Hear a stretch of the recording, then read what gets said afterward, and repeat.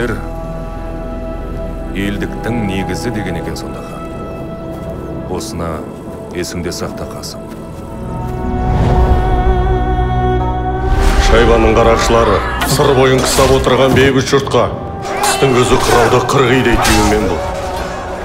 Шығында есеп жоқ. Жөн айтасың қасым. Сығанаққа аттанамыз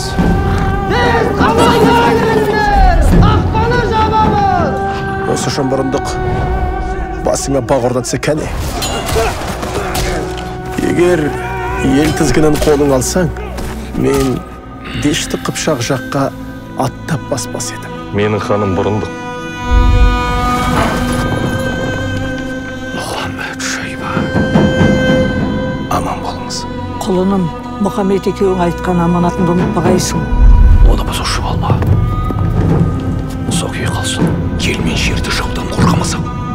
бекер хан.